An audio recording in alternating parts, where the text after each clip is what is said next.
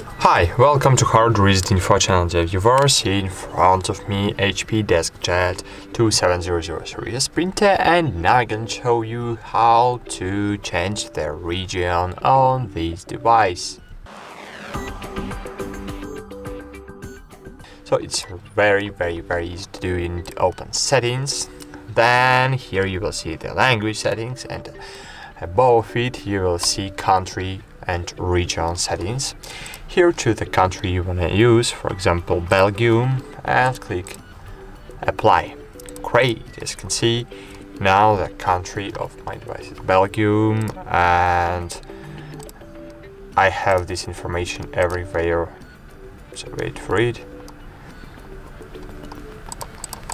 I think we have it in tools, yes. In tools, if you will scroll down, you will see the country and region, Belgium here.